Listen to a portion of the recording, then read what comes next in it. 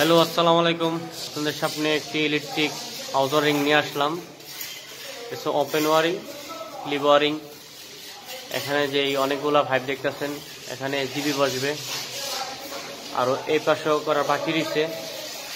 এই পাশ থেকে এই পাশে এখানে দুইটি জিবি বসবে। আর এই পাশ থেকে যে রুমগুলো আছে, রুমগুলার ফাইভ হচ্ছে এগুলা।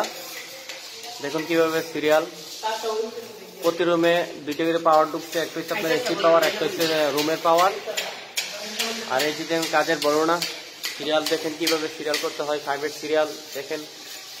কাজের একটা সৌন্দর্য আসলে নিজে প্রশংসা করা ঠিক না।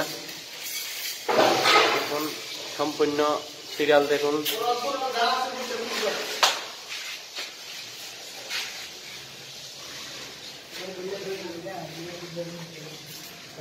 উপরে একটি সকেট আছে, এটি ক্যামেরার যে সকেট হবে।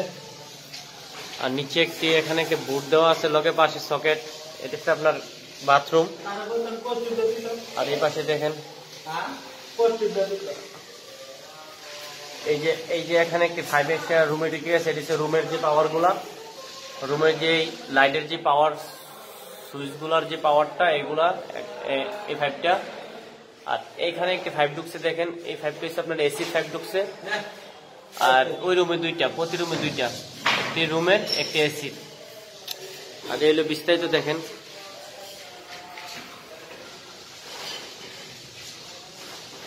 এখানে একটি হোল্ডার পড়ছে উপরে একটি সিলিন্ডার দেওয়া আছে। এই পাশে একটি সকেট ক্যামেরার জন্য। এই পাশে একটি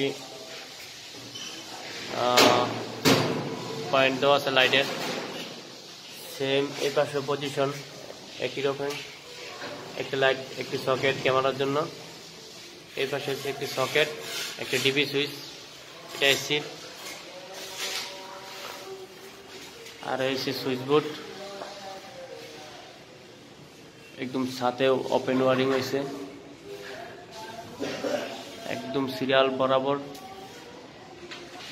সেমেটো কাজের বর্ণনা দেখেন? এখানে টি খাইছে, খাইয়া দুনো পাশে দুইটি লাইটের পয়েন্ট চলে গেছে যে একটি লাইটের পয়েন্ট আবার এই পাশে সেম এই যে একটা লাইট এখানে একটি সুইচ বোর্ড দেওয়া আছে। এদিকে করিডোর যেহেতু, বাইরে একটা বারিন্দা আছে। সরি বাইরে একটা লাইট আছে। লাইটের সুইচটা ভিতরে রাখা হয়েছে। এখানে একটি ফ্যান হবে। আর এই পাশে একটি ক্যামেরা সকেট আর পাশে দেখতেছেন যে লাইট হবে। এদিকে একটি এসির পয়েন্ট দেওয়া আছে এসির সকেট এই পাশে একটি ডিপি সুইচ দেখুন কীভাবে অনেকগুলো ব্যান খাওয়াই আনতে হয়েছে। ব্যানের শেষ নাই।